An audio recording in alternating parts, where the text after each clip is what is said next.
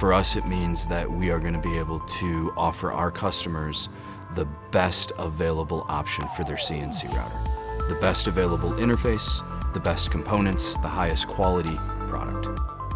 Branding is very important to our future growth.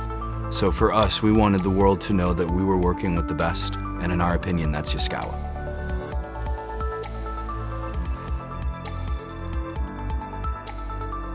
It's uh, it's pretty cool software, very very powerful. Um, the flexibility is amazing. Branding customization is pretty easy. There's two screens that you gotta mess with. It's all preset for you. You can select what colors you want. You can set the button colors globally, if you will. So all your buttons are the same color, your background's the same color. To put your logo in is literally one little spot. You're good to go. So that stuff's easy. It's kind of like a sports car. What catches your attention and draws your eye is the appearance, the outer appearance of the car. But what really makes it special is what makes it perform, what's under the hood. The MP3300 IEC controller, the servo packs, the servo motors.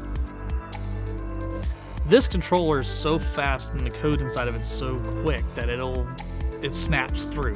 It doesn't have to think about okay, am I going to a carousel or am I going to a linear toolbar? It just does it.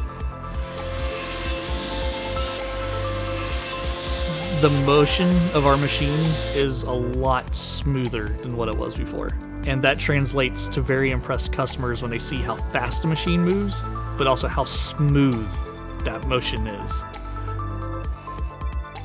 Working with Yaskawa uh, allows CAMaster to merge into other CNC automation segments. Uh, it allows our company to now think about future plans because we have such a powerful interface. CAMaster and Yaskawa have something in common.